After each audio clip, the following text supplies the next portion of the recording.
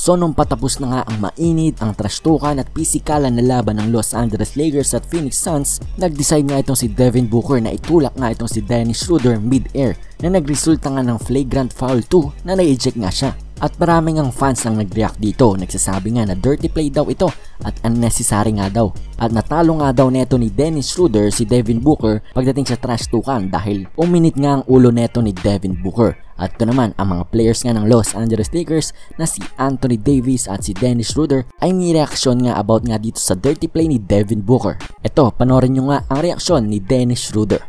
Take care of it and uh, I mean on the Devin Booker foul, end of the day, you know, we competing, doing everything, um, you know, to, to get in people's heads and whatever. But I mean, that's not a basketball play, um, and I'm gonna just leave it at that.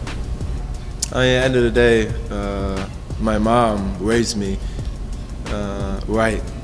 At the end of the day, when somebody talks to me first, I'm gonna talk back. And it don't matter who it is. If somebody talks to me disrespectfully, I'm gonna do the same thing. So end of the day, uh, we gonna battle there. You know, nobody's gonna disrespect me.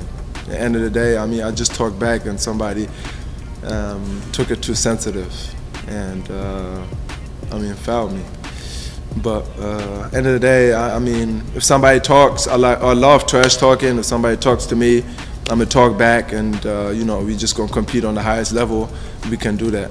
Ang sumunod naman ay itong si Anthony Davis. Panoorin nyo nga ang kanyang nasabi about dito sa dirty play ni Devin Booker dito kay Dennis Schroeder. Oh yeah, it was a physical game, all game. Um, guys chirping, you know, me, Jay, you know, Jay Braun, uh, Dennis Book, uh, Ayton had some words, but that's playoff basketball. Um, you know, you know, guys gonna chirp, guys gonna talk, but we can't uh, allow you know plays like that to happen just to push a guy out there, you know, two hands. Um, whether it was out of frustration or not, uh, it's a scary play, and you know, luckily Dennis is Dennis is all right, but um, you know, sometimes it could you know end badly, you know, for a player, you know. Um, so you know, we, we don't want to you know let the chirping lead to something like that. At ito nga rin si Lebron James ay may nasabi. Uh, well, I thought the play wasn't a basketball play. Um, anytime someone gets airborne, um, you know, shoving them out the air can be very dangerous. Um, so that's that. At ito namang si Lebron James pinag-usapan nga ang kanilang one-on-one battle ni Jay Crowder kanina sa fourth quarter nga. Panoorin nyo nga ang kanyang explanation kung bakit nga nangyari ito. Um, Always, you know, for, for, for me and for our ball club, we always trying to make uh, plays um, where we can get each other excited, we can get our uh, uh, our fans involved, get our fans excited about it, um, and um, because it just it brings so much excitement to the game.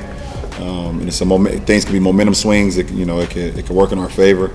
Um, so um, that, that was one of those instances where we, you know, had an opportunity to kind of make a momentum play and we was able to deliver. So yun nga lamang guys para sa video natin ngayon. If you guys like the video, make sure to like the video and if you're not subscribed, syempre mag-subscribe ka na dahil everyday meron tayong mga NBA updates. So yun lamang. See you guys next video. Bye!